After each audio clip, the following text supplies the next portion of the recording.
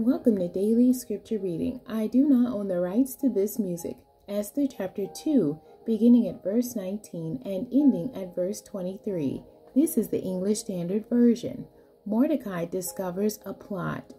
Now, when the virgins were gathered together the second time, Mordecai was sitting at the king's gate.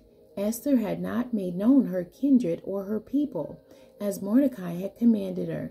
For Esther obeyed Mordecai just as when she was brought up by him.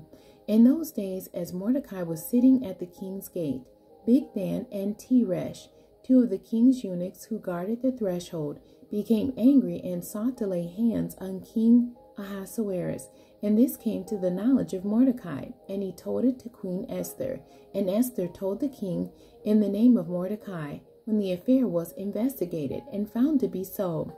The men were both hanged on the gallows, and it was recorded in the book of the Chronicles in the presence of the king. The end. God bless you, and thank you for joining me today.